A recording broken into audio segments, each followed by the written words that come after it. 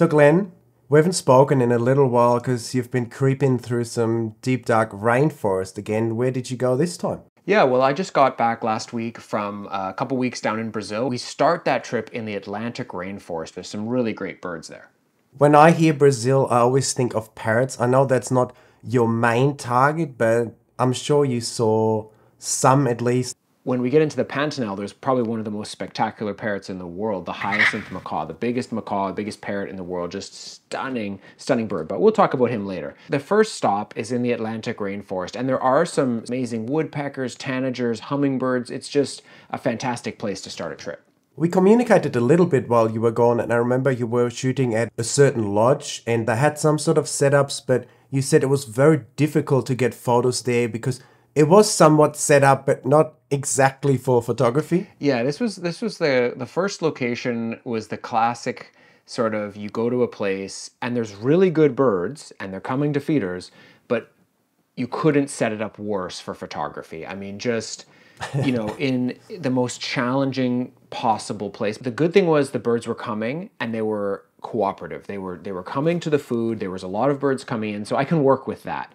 But it did take some serious rejigging of things to get the feeders set up in a location where we could take some really stunning shots. So let's say our viewers get to one of these lodges, they're happy for you to sort of rearrange something a little bit, what would be sort of a couple small things that people could do? Longtime watchers of the show will know we hate the sun, but when it is sunny, you have to work with it. So I was the first sort of 24 hours there, I was really paying attention to light angles and figuring out where things would work. And then essentially what I tried to do was find areas that would stay sort of shady in the morning and maybe into the afternoon as well. Basically, setting up for even yeah. light. That's the main thing. Like, if we've got bird and the perches being hit by sun and a sunny background, we can work with that. Even better would be if we have some nice flat light, some even shade on both the subjects and the background. And that's what I tried to find. So that meant totally moving the feeders around, using about a million cable ties, strapping up things everywhere to try to get a good setup going. Well, that looks really awesome. One day you definitely have to take me to South America as well. Where did you go after that? I think you said you went to the Pantanal, some completely different habitat.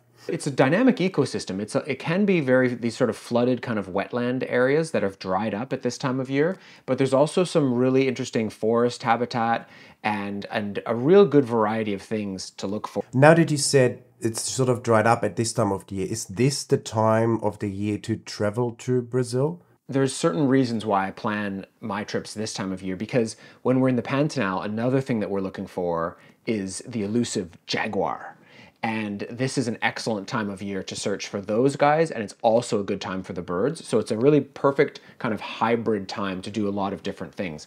So is it lodges there as well, or you're on a boat, or you're just traipsing through the through the bush? What's what's it like? We kind of drive in and visit a few different ecosystems on the way down to that river, and we spend five or six days getting down there, and then a few days on the river doing jaguars and birds, and then we head back. That all sounds very interesting, but what about those macaws? this man loves his parrots. so we had a crazy shoot with those guys. There was literally probably 15 to 20 of these massive blue macaws coming down to these super low fruits that were on this palm. It was it was a fantastic shoot for the best opportunity I've ever had for that species. I must say I might be slightly jealous. Another cool bird down there is always all those toucans. Did you have any opportunities with them? They just look amazing with their massive beaks. We we were at the um, the lodge and I noticed this big fig tree that had tons of fruits on it. And then, you know, the next afternoon, I was off a little bit away from that area with one of the clients on the trip, and we saw these two to- Toco toucans fly in. Not to that tree, but to another area. And right away, I said to the client, Let's go, let's go, let's go, run, follow me. And we ran over because I knew that those birds were headed to that tree. I just knew that they were going to go there to feed as they're flying in that direction. So where we were, if we got them flying out, it would have just been a butt shot flying away from us. So we ran to get in front of them and intercept them as they could fly then between us and the tree they were going to. And we got some awesome shots of these Toco toucans flying right past us, perfect light, flying right into the light angle. And it was all because of that anticipation of knowing what's going to happen and predicting it and getting yourself in the right position, which I think is a really important thing, an important skill to try to develop as a bird photographer. Well, that looks like an awesome trip and definitely makes me want to go out there and see some new birds too. Which brings me to our next topic motivation. So, Glenn, what inspires you and keeps you motivated to go out there again and again and again and to travel to all these places? Well, I think that's that you nailed it right there. It's for me it's the a lot of bird photography has become about traveling to these places and to see these new birds and these new ecosystems and just to be out in nature in an exciting and new way. And that's that's what gets me really motivated as a bird photographer these days.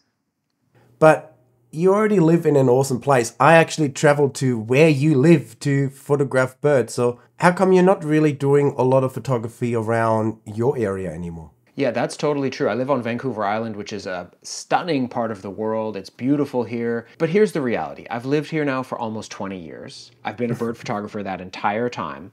And early to mid spring is sort of the sweet spot for most of the birds when they look good and they're in their best plumage and everything's looking great.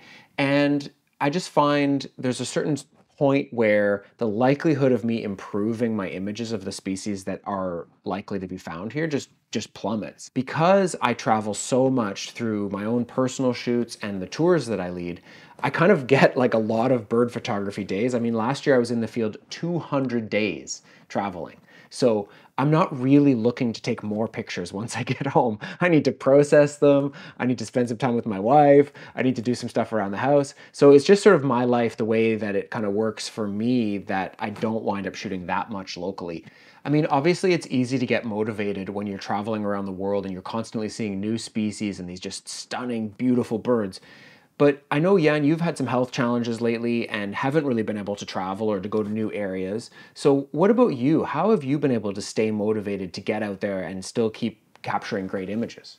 It's definitely been a challenge. I actually had to cancel a lot of awesome trips that I had planned. I'm basically bound to my local area, and so I just tried to focus on some new projects that I could do in this area. For instance, there's all these pale-headed rosellas around here, and so I really started to try and build up a portfolio of them. Like there's a tree in my backyard that has these massive red flowers. They feed on those. I set up a little bird feeder in my backyard, so I have different birds coming in and so just try to stay locally. I'm lucky because there's birds like the pitta pretty close by, so I could photograph some of them. And interestingly, I know not everyone can do that, but doing these gear reviews on YouTube has actually helped me to motivate a lot because it gives me like a new purpose to go out there and photograph birds that I've already photographed because it's a new camera, it's a new lens, so I need to get some good photos with it. And sometimes you just learn about completely new spots that are really nearby as well. Like these ospreys, I suddenly found out on Facebook there's this cliff where these ospreys fly past all the time. So I went there a few times and got some awesome shots. So you definitely don't always have to travel somewhere far. I think it's easier to stay motivated or get excited when you're traveling, but there's definitely a lot of opportunities in your local area as well. Well, you also you do a lot more video than I do, so you've certainly been able to keep that going. Totally, that helps. And another thing I've tried to do is just mix up my style a little bit as well. I've been shooting a lot more wider shots of like the pitta in the forest and the whipbird in the forest and just a little bit of a different style. It's obviously hard sometimes because you feel like, oh, I've seen this kookaburra in my backyard the last six weeks every day, so you don't get as excited to photograph it anymore. But then at the same time, there's always new opportunities, like the one when I photographed it right into the sun, where you just see the silhouette with the outline. So if you actually think of new ways of photographing things, you can definitely just take some awesome photos literally in your backyard or with hardly without leaving your house. Now, I don't know about you, Jan, but one of the things that actually often motivates me is just looking at other really good images online. You know, sometimes on Instagram or something will pop up a species you've always wanted to see, or someone's captured a really awesome image, and that I get like FOMO and I want to go see that bird. I want to see that that species. And I, I do find that's a real thing that actually motivates you to get out and want to go shooting is when you see other people taking great images. What about you? Definitely, it's the same for me. And I sometimes, as you say, I see someone on Instagram and I actually go to their website and I see all their awesome photos and I just get, yeah, the motivation and maybe some new ideas or just seeing other people have awesome photos makes me go like, yes, I do need to go out. And I think it also sometimes shows you that you might not have to travel so far because that person took like a really cool shot of a bird from like your area and you go like yep i'll definitely want to get something like that myself for me one of the things that i did during during the pandemic was this hummingbirds book. So that gave me something to do during all that downtime. So finding a little a fun little project that has a tangible kind of outcome could be another great way to get motivated. And you know what motivated me lately? I actually gave myself my own little project. It was just looking through a lot of my old photos because I realized when you came to Australia last year, I was feeling so sick that I ne- never actually deleted any of the photos that we took mm. together. So I was going through my hard drives. I'm like, oh, there's these massive folders. There's like 25,000 photos in these folders. So I started to look through those images. I'm like, wow, there's some awesome shots in there. I should really start to edit those. And then, of course, I love parrots. So I started to look through some of my other older photos from like my Cairns trip, for instance. And I saw so many photos that I've never edited. And now with the new technology, our pro sets, my masterclass workflow, it actually helps you to get so much more out of these older photos sometimes. Like some photos I've taken with a 1D Mark IV or 5D Mark IV, and they were okay. But now with the new workflow, with the better colors we can get with the process, it just looks so much better. And all these okay old photos become like real stunners, basically. So this actually has gotten me a lot of motivation to just go back and revisit some of the photos I've already taken. Because I think sometimes we're always chasing the next thing, the next colorful bird, the next strip, everything else. And we forget about all the things we've already taken and could edit up, for instance. So, Jan, what did you find going back and looking at some of those older images? Were some of the things that with the new technology you could really improve upon when you were re editing or editing those images for the first time? Definitely the noise, the new noise reduction software, whether it's Adobe Enhance or DxO PureRAW or Topaz Denoise, they helped a lot in just getting these images nice and clean. Then obviously enjoyed using our presets that just give me a much better starting point than the Adobe profiles. It's just one click and it looks good.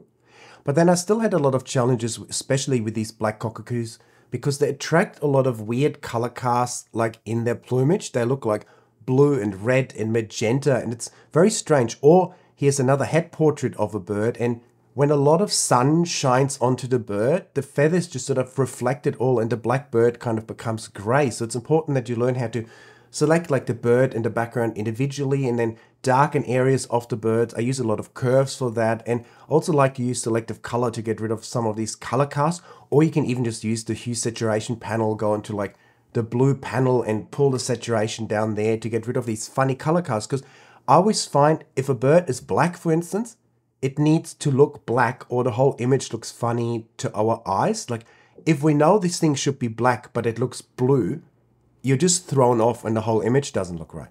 Yeah, absolutely. There's no question that we've said it once, we'll say it again. You have to learn how to process your images to the best of your ability. It is a, a journey to get there, but you need to invest time in the digital darkroom to, to really make your photos shine. So we have some resources for you down in the description, and you can check those out and really take your images to that next level. Speaking of images and editing, let's take a look at some of your images and how you've fared this week. Glenn and I went through, I think it's over 25,000 images now on Instagram that are tagged Bird Photo Show, and we picked six favorites for this week three by me, three by Glenn. So, what's your first one, Glenn? Go. All right, so the first image that I brought for us this week is by Kenyan Birder, and it's of this really nice scarlet chested sunbird. I think this is a really cool shot. I love these sunbirds. I've never seen a sunbird. Actually, I have seen some sunbirds in, in Australia and Papua New Guinea, but I've never seen this one. It's got that vertical kind of perch, but the bird is sort of between these two interesting flowering heads. I just think it's a it's a, an attractive image and it's it's nicely composed. What about you, Jan? It's like a really weird pose that somehow still seems to work. I guess it's because Yeah. that flower looks so cool with these two sort of wobbly balls there. Flowers coming out. I guess with the sunbirds, in an ideal world, I probably want more of a head turn, but then you probably don't see any of the iridescence on the throat. So it's always a challenge Yeah. with these birds. And all around, I think it's a really nice image. I wouldn't really change anything. And actually, we both picked the image from Kenyan Birder this week, so we had to remove mine, but he must have impressed us a lot this week. Good job, Kenyan Birder. I'm a little bit into action shots this week, so the first one I picked is of this awesome bee eater in flight by Gabby Sandu, and it was taken in Romania. And I think it's just a perfect banking pose. You see all the colors, the wings are nicely stretched out. It's a decent enough head turn. All around, it's really, really nice. The only thing I may have tried would be maybe to slightly separate the bird and the background a little bit more. But other than that, I think it looks really nice. So you could have either made the background a little bit brighter or maybe add a little bit of magenta to the bird. It's a great shot, really amazing pose. The only thing that for me is there's sort of the bottom right of the image, the bottom right triangle is that kind of more green, and then you have sort of the background goes on a quite abrupt line to a more Yeah. tan and green color. So I think if this was mine, I would have probably tried to smooth that out a little bit to have the background more homogeneous. Um, but overall, an awesome shot by Gabby Sandhu. My second photo this week is by Tyler Wenzel Photography, and I just think it's a really cute shot. It's a black crested coquette. I'm guessing this was taken in Costa Rica, and these birds are just so comical. You know, they've got these floopy little feathers coming out of their head and this great looking beard situation going on. And when you get them looking right at the camera, sometimes it's not all birds work well when they're looking right at you, but I think this is a cool one. So um, just a really a really fun shot by Tyler here. What do you think, Jan? I think it's interesting that this is the second shot this week you pick where it's like an awkward pose that somehow works. I mean, it's Yeah. weird because it looks like the beak just looks like a red sort of dot. You can't even see that's a beak, Yeah. but it, it, it works quite well. So I think, yeah, it, it's just an interesting photo that was definitely nicely done. When you have a species that's so cool, you can get away with stuff that you wouldn't Yeah. be able to get away with otherwise. So for example, if this was a house sparrow, probably doesn't work. Yeah. All right, my second shot this week is of this awesome House Martin in flight. Another great banking pose. I'm not entirely sure if this is a sky background or possibly a water background. I'd almost be more tempted to say it's a water background just by the depth so. of it. And swallows often fly quite low, so I guess it might might be that. But yeah, I think it's just a fantastic shot, a great pose, a great head turn, and I just like all the colors and everything else about it. Maybe I would remove the little bit of whatever is on the, the top wing that kind of makes me stare at it. And there might be a couple spot in the blue feathers that I might be tempted to remove as well. And I think looking at your face, you might feel the same, Glenn. Yeah, I mean, if you didn't say that, I was going to say it. There's that little bit of probably cobweb or something that's on the upper wing, but you cannot get a better pose than this for a swallow or a martin. That is just the perfect pose. And yeah, I totally agree. I would just do a little bit of cleanup on that back. There's that kind of one little white area. Yeah. And after that, it's a stunner. So great job. My third and final image this week is by Leslie P. Wild Photography, and it's of a really cool barred owl, and you can kind of tell that it's in the Pacific Northwest rainforest, and it's kind of coming down. The I really like this shot. I like the mood of it. I like the the habitat inclusion. The only thing I'm not crazy about, actually, let's play the game. Jan, what do you think that I'm not totally excited about when it comes to this shot?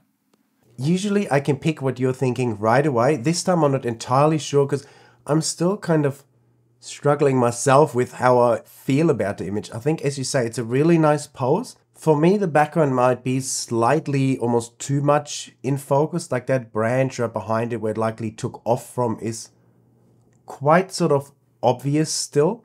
So I don't know if that's what you're thinking, but that's probably the one thing I keep looking at because it's right behind the bird, so it's definitely drawing my eye in. Well, I wasn't actually thinking that, but for me, this image, and I'm not even sure, it's it gets into that gray area of like rolling shutter wing blur. Yeah. Where I'm kind of I'm looking at this image and I'm thinking, is that reality of how the bird's wings are, or is that rolling shutter? Hmm. And I think we're seeing a lot more of this in images all over Instagram and the internet, where even even contest winning shots, great shots that have been deemed to be great winning shots that have crazy rolling shutter.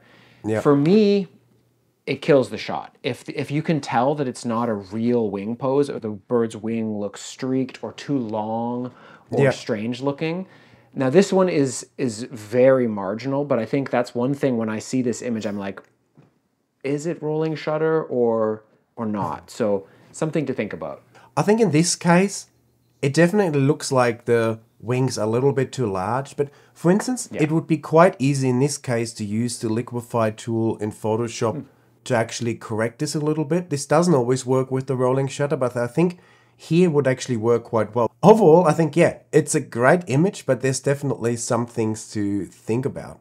Yeah, and you had a good video recently talking about the R7 and ways to kind of control rolling shutter. And I just think with the mirrorless cameras now, you have to know your camera and think about the speed of the bird and what is exactly the subject because you might be able to get away with electronic shutter on a certain camera Yeah. or with the same camera on a slower flying bird.